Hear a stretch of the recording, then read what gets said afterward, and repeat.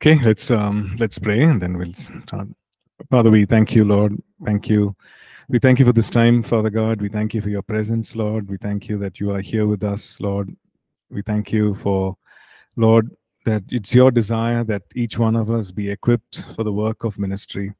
Yes, Lord, as we see, Lord, in Ephesians 4 and verse 11, God, that you've, inst- Lord, instituted the fivefold ministry in the church. And, and Lord, we thank you for the equipping and for the training that each one of us, Lord, called to various forms of ministry, God. And I just pray that each one of us, even as we yield ourselves to your equipping, your training, and uh, the empowering of the Holy Spirit, that we'll be, Lord, so, um, Lord, uh, complete in thorough, oh God, in our equipping.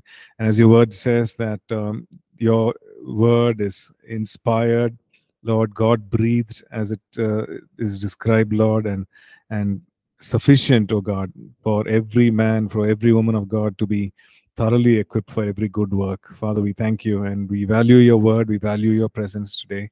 We thank you. Speak to us, Lord. In Jesus' matchless name we pray. Amen. Amen. Okay, so um, we've been looking at sermon, um, preparing a message, right? So we looked at um, the conclusion, how to conclude a message. And um, conclusion does it come in the beginning or in the end? Right at the end right? Uh, so that's where we conclude. Uh, also want to um, you know which is not there in the notes but really want to talk to us about um, you know a time of ministry that um, we can conclude our uh, our message with right so we we finish the sermon and um, we we invite the presence and the power of god to reinforce whatever we had stated, whatever we had shared. And also, we open up uh, the hearts of people for the work of the Holy Spirit in their lives, right? So, so it's a powerful time. So rather than just completing the message and then saying, okay, you know, I'm, it's fine, see you all, but we can give an opportunity based on, of course, based on the message, can give an opportunity for the people to respond to the message, right? So, which we traditionally, you know, refer to as the altar call. Um, but it can also be a time of ministry. You know, when we say altar call, we're saying primarily it's like a like a salvation, you know, message and a respond to and a response to that. You know, how many of you want to receive Christ? as your Lord and Savior. You know, it's a salvation invitation to receive salvation. So uh, so that invitation can be for recommitment that invitation can be for experiencing the power of god for you know healing and deliverance and so on that invitation can be um, for people to move in the gifts of the spirit and so on right so so that can be so you can even pray through that and plan for that. God know, what do you want to do? What do you want me to do as i end this message? You know how do you want to minister to the people right? So how do you want me to facilitate that? What should i do? So think of that right? Um, because uh, like we were saying last class we uh, give a lot of focus on the start right? How do i make an impactful start you know what should i you know, introduce the message as and and how do i you know share through all this? But then we sometimes give little or no importance to the conclusion. You know how do i end the message? And uh, you know what what really god wants done? You know when we pray when we uh, you know spend time in his presence the lord might reveal certain things right? Reveal certain needs in the congregation reveals uh, give some certain words of knowledge. Word of words of knowledge need not be right there you know it can be much before.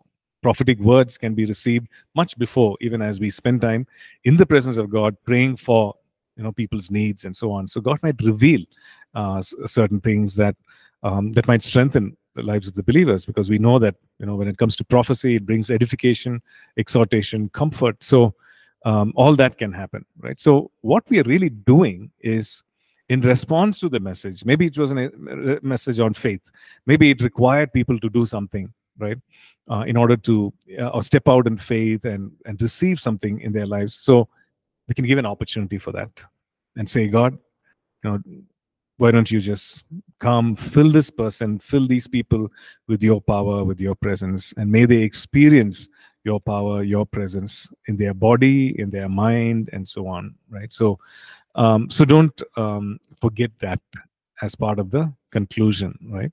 Uh, as a uh, include that ministry time. Plan for that. Pray through that.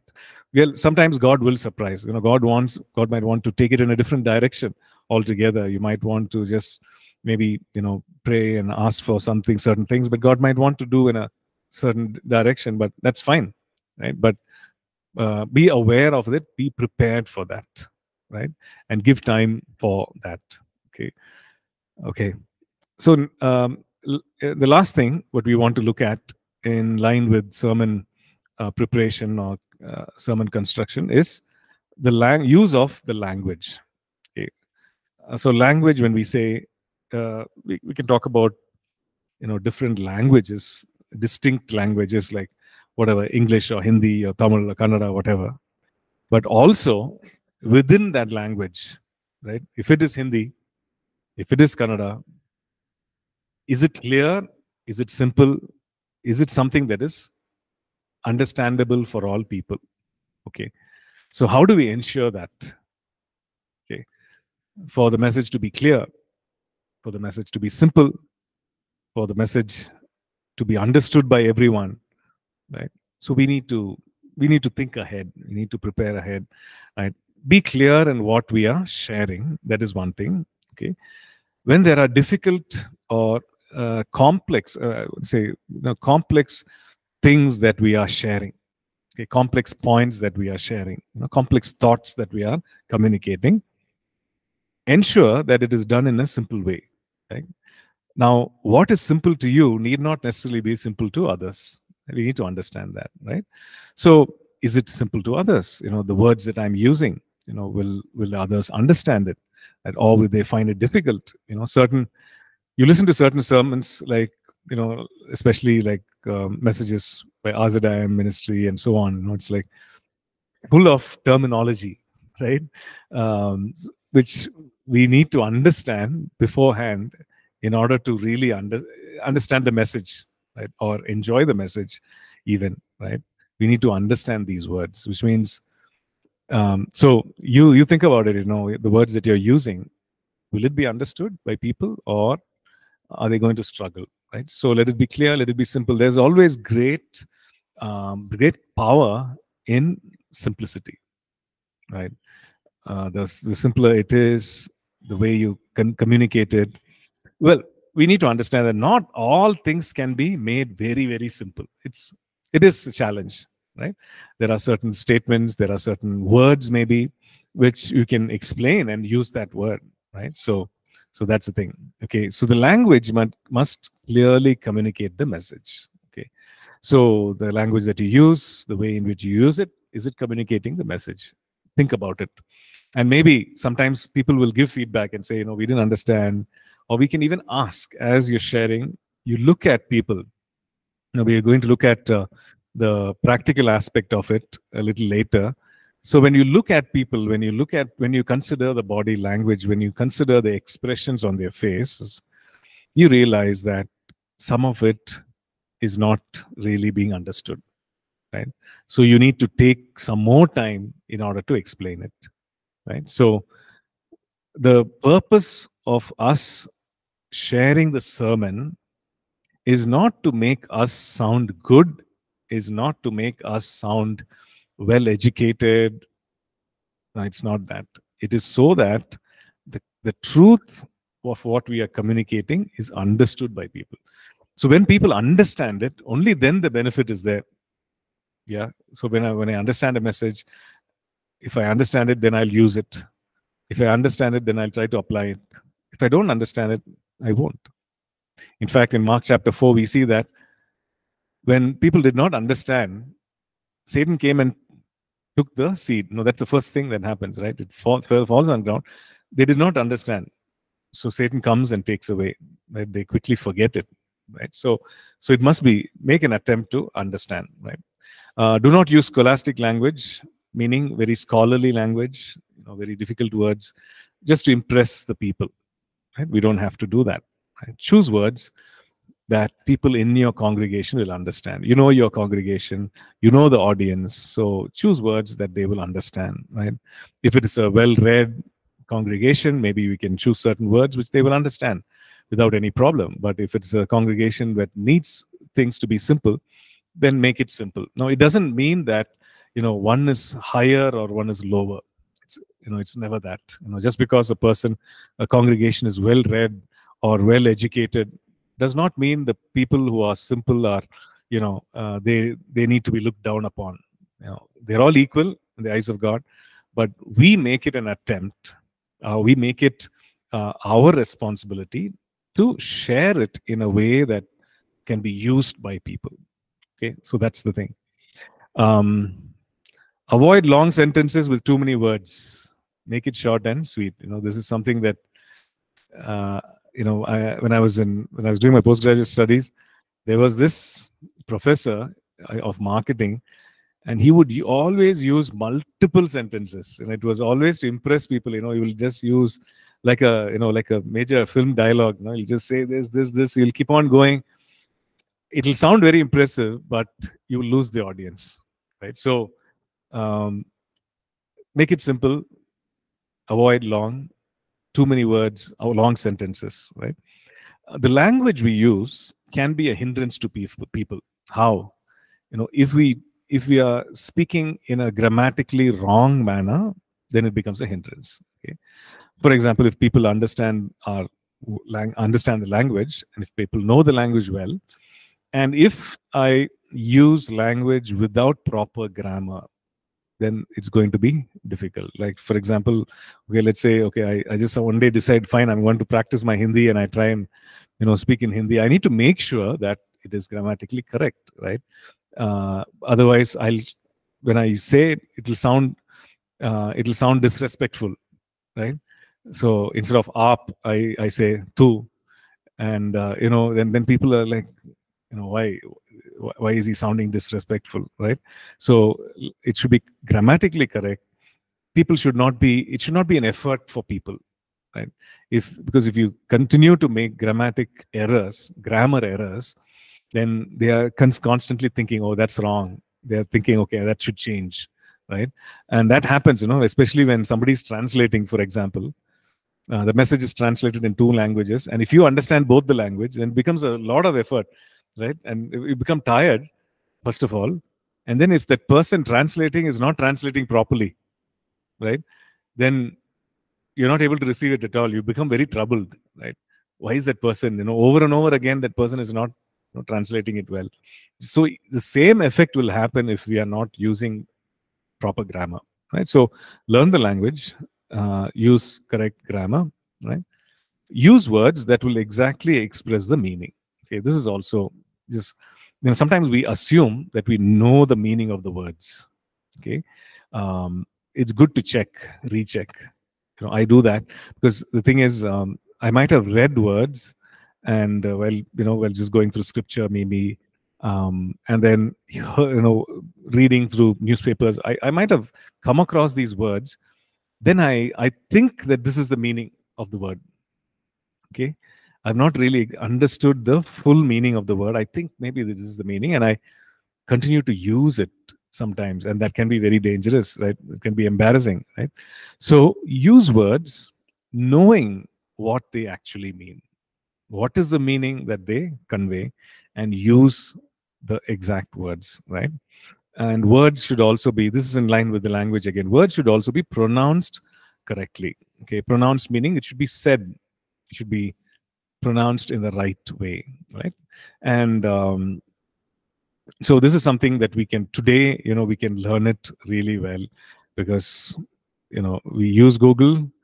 Google always there's always a pronunciation, right? And there are different kinds of pronunciation: Indian pronunciation, you know, American pronunciation, English pronunciation. You know, when it comes to the English language, so every word we can actually learn how it can be pronounced so we don't have any excuse, excuse, right? So learn how the word is pronounced. If it's a Hebrew word, we still we still have the tools. We can use, you know, the Google. We can use um, YouTube. We can actually learn how it is pronounced. Now that will also help us. right? Where it cannot be a, it won't be a hindrance for people, right? Okay. Um, yeah. So those are some things for us to understand. Um, yeah. Lastly, if you see that language is the incarnation of thought in the sense it is thought which is clothed with words. So when we are saying language, you know, how clear are our thoughts? How clear are our thoughts on that particular subject? How clear are our thoughts in what we want to convey? Now, if the if our thoughts are clear, if the points are clear, then language and the words will follow. It'll it'll be clear. But if our thoughts are not clear, then no matter how much we try to explain, the idea will not be clearly conveyed. Okay, so um, the best thing is, you know, again, I come back to that same thing of, you know, trying to teach children, right? trying to teach, um, you know, younger kids certain complex things. That's a, always a, a good, um, what I would say, good training Uh, if you want to clarify or if you want to sharpen our thoughts on that particular thing you know because with kids you have to be very clear. You, you don't have much time. You have you know very short attention span right? So you have to speak clearly. If you're talking about the lord's second coming you have to speak clearly right? You can't be speaking in in a muddled way. So language is the incarnation of thought. So thoughts which are clothed with words. So if our thoughts are clear on any topic that we want to convey, then our words also will be clear, right? Okay. Any any thoughts? Any So addition? one Yeah, small sure. observation, like you know, when I was in marketing in Yeah. the corporate life, you know, one thing that we actually learned um, was like you know, whenever you're trying to communicate anything, Yeah. you're trying to speak. If a six-year-old or a seven-year-old person can understand, you've done your bit. Yeah. So that was something that is like like stayed. Mm. And uh, just wanted to ask you on a personal note, Pastor, when you're invited to preach at a particular place or a congregation or thing, is it a good practice to ask the person who's called you what is the time frame in which I have to, uh, you know, uh, Yes. preach yes. and things? Yeah, always. And, and also about the audience, also you can ask, you know, uh, what kind of audience and also the time frame because uh, the duration is very important. So you can plan the the message, how much you want to say, how much you want to share, and um, yeah, you know, because on a particular topic you can share quite a bit, or you can share uh, concisely. So time frame is always um, so you can plan it. And a uh, scenario when they said it's okay, you can go ahead and preach. What is the usual uh, ideal time to, you know?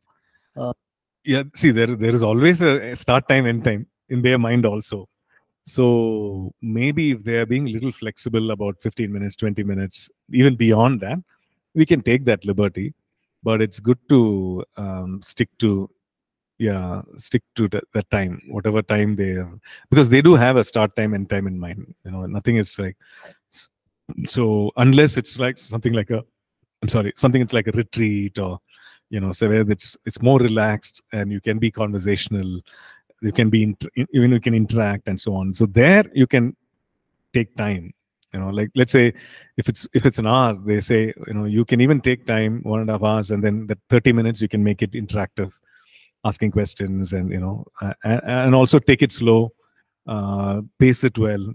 So all that is possible. But um, yeah it's always good to find that out. Because our uh, when, when it comes to language our rate of speech also matters. Um, how much we speak within a particular minute or in five minutes how much we are conveying um, yeah, within that. So uh, if it's uh, so we can actually space it out you know. Yeah so we can we can either make it fast make it slow uh, compared to yeah compared to, based on the audience and also the time yeah we have yeah. Yeah. Okay.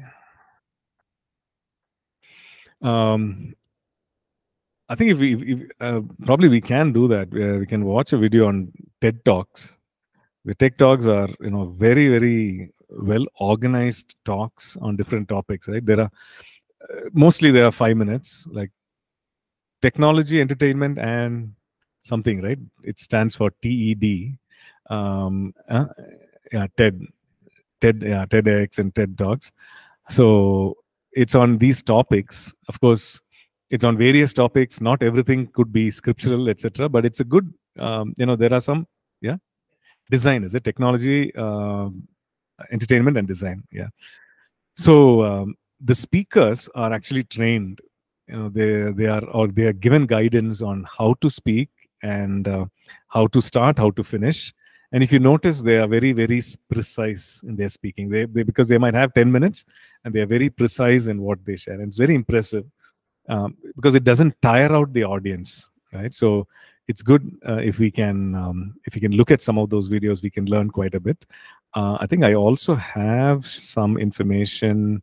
Just uh, one minute. Um, oh yeah. I do have some information. I'll share that. Um, i have a you know a pdf talk like ted the nine public speaking secrets of the world's top minds. So i'll share that when we come to that topic right? We can look at that also.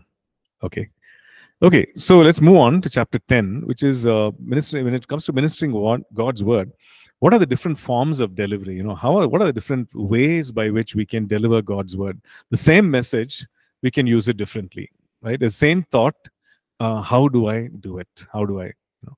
So the most common one is we speak it right? We say it. We look at the audience uh, this is the topic and we we begin to say it okay? So that is one way of doing it. The second way is to dramatize it and to use it as an illustrated sermon. Okay. So illustrated sermon meaning there could be um, you know i remember listening to uh, it in a you know that story form is also a close example of that. This whole story of ruth right? Ruth story uh, it was told in a very contemporary way modern way modern names. And it was the whole story was uh, told like in a in a story form right? In a contemporary story form. So he just said you know one day there was a man named richard and how he married and how he went and and something happened. And and i remember being you know listening to that half an hour um like completely focused right? Completely focused concentrating on it right? So it is a, it's a very very um, nice way of doing it very interesting way of doing it right? So you can dramatize it right? Um, it can be a very illustrated sermon in the sense it can you can use um, people to come act out certain things. You can do it as a drama. Certain conversations or certain parts of that you know convers- uh, sermon can be actually act acted out right? Uh, and you can do that. I remember you know i think watching um, um, this was a message by i think td jakes right? And it was a message on spiritual warfare where they actually had a, a, a miniature of a tank like a battle tank on stage right?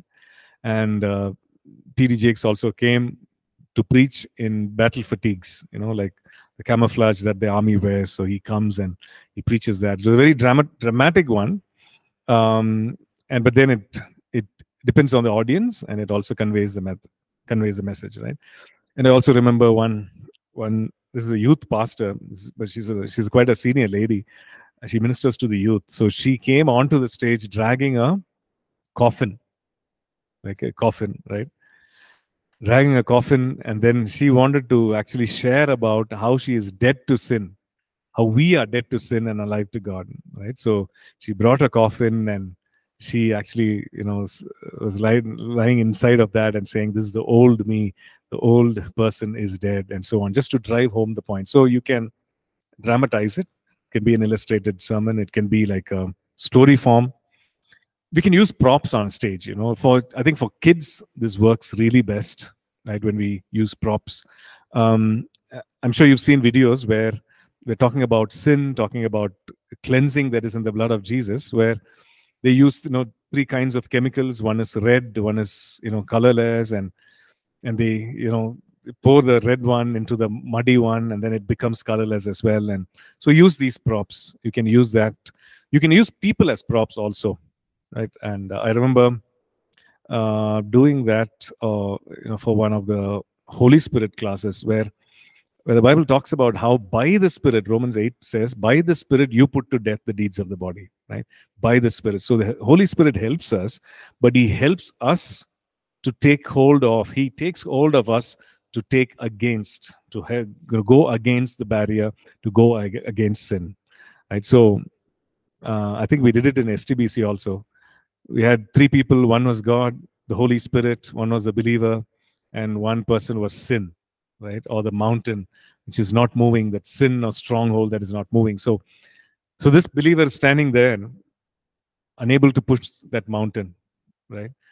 But then comes the holy spirit and what does the holy spirit do? He helps the believer you know he empowers the believer. So he does not push the mountain away by himself but he puts his hand on the believer's hand and against that mountain or against that stronghold. So you can use people as props also for certain messages, right? Messages can be sung, certain parts of it.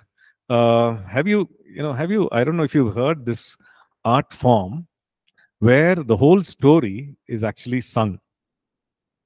Dialogues are sung, the whole message is sung. Have you have you watched anything like that? Um, I don't know what is it, what's it called in different languages, but this is a village rural form, art form where they you know talk about the different epics you know and they do it in song. So i remember watching one particular program evening uh, and it was about uh, bible stories but it was actually sung out. Um, in tamil it's called katha kala jabam you know it's like uh, so i don't know what it's called in uh, in have any of you been part of that? No? Uh, you know it, it is sung out. It is like a rural it is like a folk song but it, it tells the story story of some person uh, sto- stories in the bible. Um, anyway, i'll see if i can get a video hydrolo video of that right? So um, i don't know what they call it in uh, other languages but um, but this is what it you know you, you can sing it. You know it, it's a very old rural uh, you know folk way of uh, conveying a message right? Okay so visuals.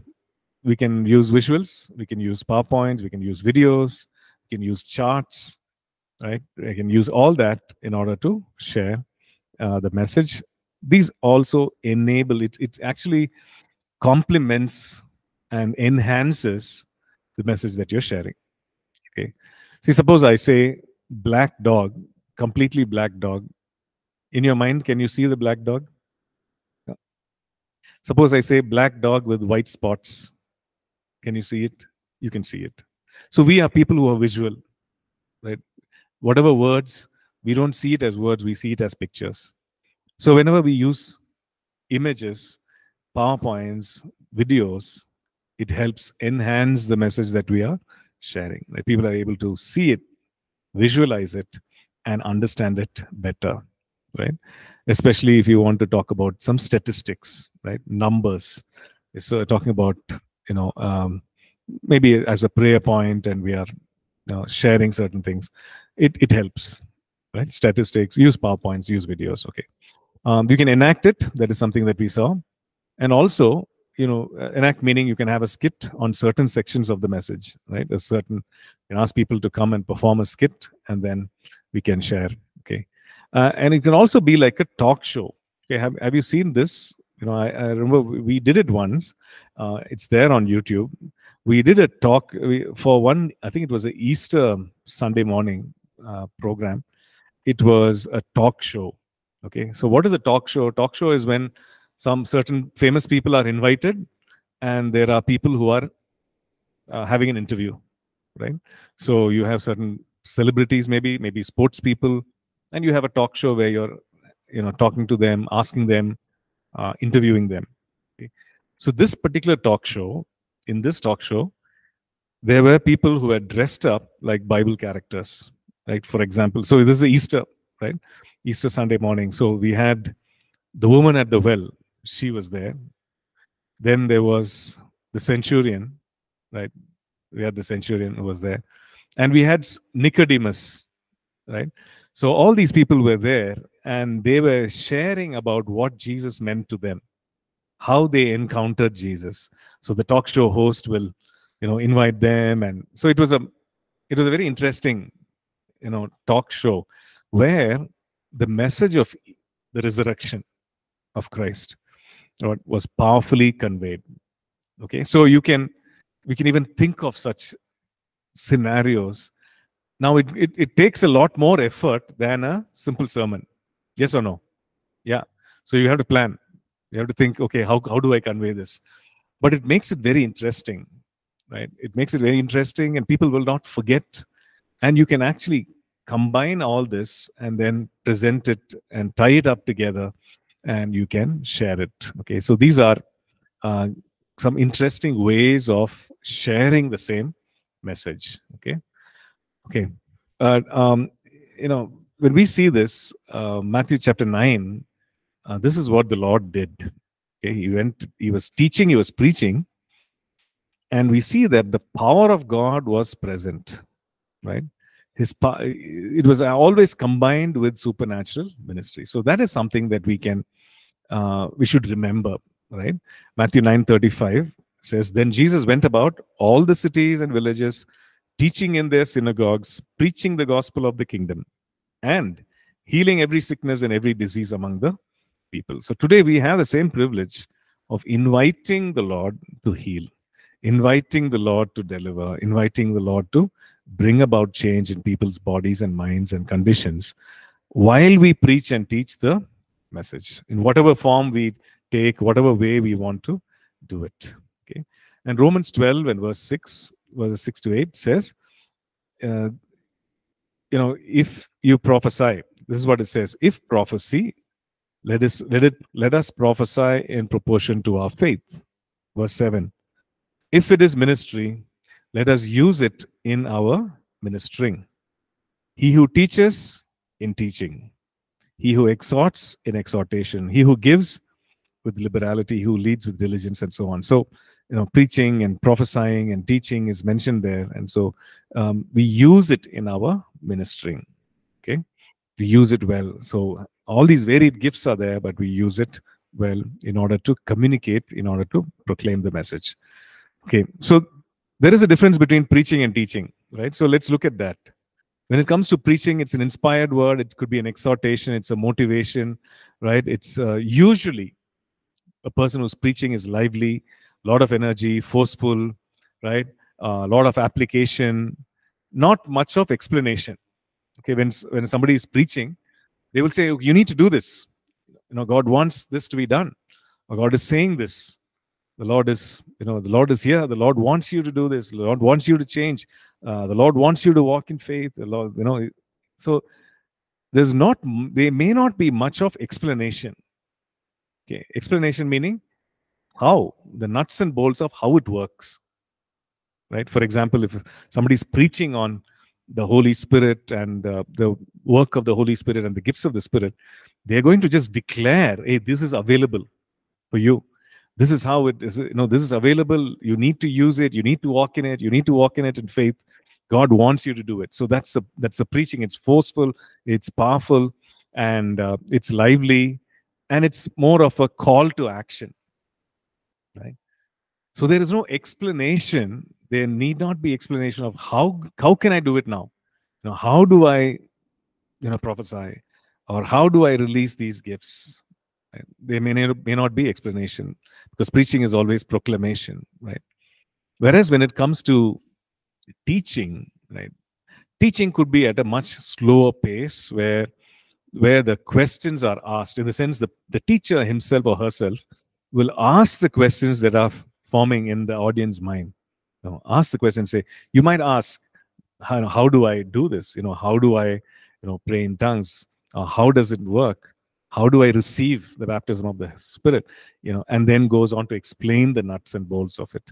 And there's a lot of digging in deep into Scripture. There's a lot of, you know, looking at chapter and verse and so on and there is also um, you know explanation of it right so the pace could be slower there could be a lot of explanation there's a lot of in-depth study and a lot of you know bringing of understanding right so we as people who are called to communicate the truth of god's word we need to be ready for, to do both right preaching as well as teaching right now there could be there could be times when in a message, certain parts of it are proclaimed, preached. Right? It's a call to action, it's an inspiration, it's motivating.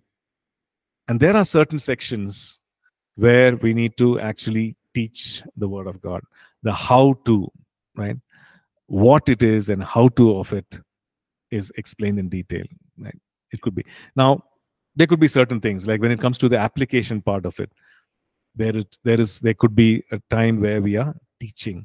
This is how it works, right? And we get into the details of it, right? Okay, so we can ask the Lord, Lord, you want me to share this message? Yes, but where, you know, what do you want me to do? Do you want me to just preach it? Right? Be strong and courageous. A strong word. You want to preach it? Or God, do I do I have to teach it? How to be strong, how to work against fear, how to be courageous. You know, do you want me to teach it? Lord, and then the Lord will give, the Lord will obviously give revelation, right? How to do it. And uh, and the Lord will also empower us to do the same thing. Right? Empower us to preach. The one who empowers us to teach also empowers us to preach, right? But the anointing of God, the empowering of God works differently. When it comes to preaching, it could be to inspire people, it could be to motivate people. When it comes to teaching, it could be to bring illumination, but the same anointing of the Holy Spirit enables us, right? The same Holy Spirit anoints us in different manner, sorry, anoints us in, in a different way in order to teach the message, right? So we we do that. The third way, you know, preaching, teaching, the third way is to prophesy. The word can be prophetically communicated, right? So it could it's a prophetic message, it's a now word, right? It's for maybe for a group of people, and it's a now word. It's maybe a message of reconciliation. It's maybe a warning. Right? It's a now word. It's a prophetic word. When it comes to prophecy, you know, you have the prophetic word. You can have a prophetic song. You can have a prophetic prayer, and also prophetic action. Right. So we, we've been looking at you know different ways by which the same message can be communicated same message can be delivered. So we can choose right? We can pray we can choose and we can ask the lord god how how best do i do this? How do i do this? Right? Any questions here? Any anything that you want to share and you want to add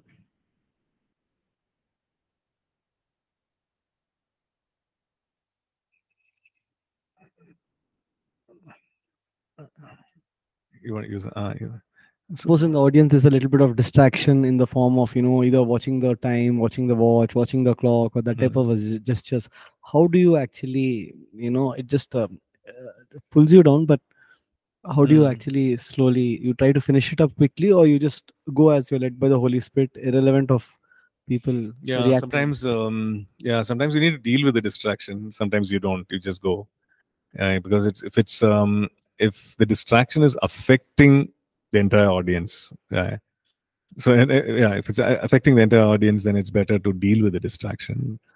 But if not we can just go ahead yeah and share what we need to share and not be kind of not be we being personally distracted by it you know avoid doing that and then keep going yeah. So yeah that's the thing.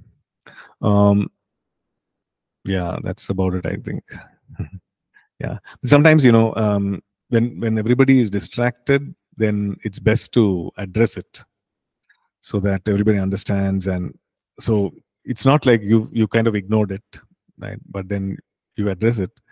Um and sometimes it can be some technical glitch that happens and then you know we are it's it's better to address that whole thing um and then move along um but certain things certain things we can just take it in the flow.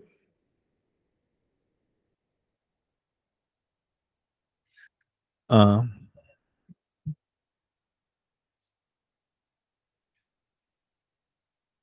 um no further distraction yes. Hmm yeah yeah in a, in a way that's um, in, in a way that doesn't doesn't disrupt the message yeah sometimes but sometimes it's some things could be serious enough where you need to stop. You need to stop. Like for example, one particular Sunday, suddenly I think I think it was at the end of the prayer time. We were just about to get into the message, and was one person collapsed. He's just standing there, young person.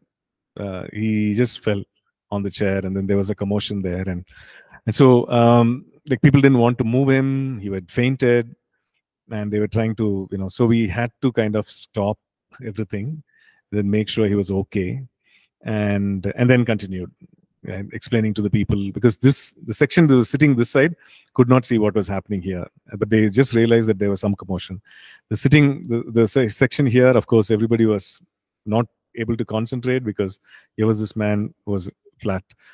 So the in such times you know you just need to do that. There could be also children crying. So we need to you know do that. And initially we might hope okay they stop after two or three you know uh, or maybe within a minute they'll stop but then they don't and then it's affecting others. So we might have to you know politely ask them you know. There are some churches where they're very very very forceful very you know harsh. Um, yeah i've seen that also uh, but then you know we can do it politely. You can say you know maybe the child is not well or uncomfortable. Would you like to step out and make sure child is fine? And then you can come back. So things like that. Um, yeah so yeah. But certain things you don't have to. You can just go on. Yeah. Um, yeah. Also another thing that is that we whether it's preaching teaching prophesying you know it's going to take uh, it's going to take physically it's going to take a lot of energy right? So um, so we need to be one has to be prepared for that. Uh, physically it's going to take a lot. So you be prepared right? In terms of uh, speaking in terms of speaking it loud enough for people to hear in terms of making sure that they understand all that you know it's going to take a lot of mental activity and physical activity. So one has to be prepared for that as well right okay so uh, next chapter is about ministering god's word and expecting fruit you know expecting results in our ministry. Now it we'll, we'll look at it next class but just want to make some some uh, introductory comments on that. Um, you know initially when we share the word we are so focused on just getting it done in the right way right? I want to say it whatever i have to say i want to say it without forgetting remembering all that i have to say i want to say without any making i want to do it without making any mistakes right and I want to do it within the time. And we are so conscious of ourselves. Yes or no? Yeah, we're just thinking, okay, what will the others say? What are they thinking? All that, all those thoughts are there. So expecting result from what you're sharing is something that is far away from your mind. Need to, you're not even thinking about it. You're just thinking, okay, God, you do whatever you want. Right? I've been, I'm here, I'm here to share. I've got this 10 minutes, 15 minutes, whatever let me just lord please help me to do it well i don't want to make a mistake i don't want to be made a laughing stock you know all that we're so conscious of ourselves and uh, but we need to grow out of that right we need to grow out of that and be conscious and focused on what god wants to be done right on what god is saying and what is the end result of what god wants done right so that's about expecting fruit or expecting results, right? Um, so we look at it next class. We'll stop here. Okay, also want to say that uh, we'll have our assignments, uh, first assignments in the coming week. I'll post it. Um, and um, so everybody uh, does it online, right? Yeah, okay. And for e-learning, you'll have it on your discussion. Um, it'll be it'll come up on your discussion page. So um, next week sometime you can expect right? Okay so we'll stop here. Uh, thank you and god bless. Brother any examples of a profiting uh, form of delivery? Um, sorry can you just uh, ask me again? Uh, repeat that please. Different forms of delivery. Any example can you give us about prophesying type of ah, about the prophetic word okay. So prophetic word one thing is that uh, it is an inspired word right? It's an inspired word it's prophetic. So the message it, it does not mean that it has to be at the time of delivery right? So prophetic word can be some, at the time of preparation where god puts it in your heart and it is prophetic in nature in the sense it's a now word. It is something that takes care of the needs of the people right? So in that sense it's a it's a prophetic word. It's not like maybe a it's not like maybe a book study or something but it's a very inspired prophetic word. You say that okay i need to share this for this congregation on this particular day right? So so that is one thing. The other thing is also as we are sharing as we are speaking god the spirit of god enables us or he prompts us to share certain things right? Maybe it's about the needs of people again uh, it could be certain specific details of people uh, where we we speak that out and we minister right? Maybe certain conditions um, it could be during the ministry time or it could be even during the message where we we call that out and um, because god wants that to be dealt with and so on right? Um, illustrations can be prophetic in nature where you did not plan to say something. You do not plan to share that example but the holy spirit drops it in your heart and that's the right one to bring edification exhortation comfort the illustration to bring out that point as well. So these are ways in which we you know we minister uh, in prophecy right? Preaching teaching and in prophecy as well Thank you, Pastor. right. Okay. Okay. God bless. Thank you everyone. See you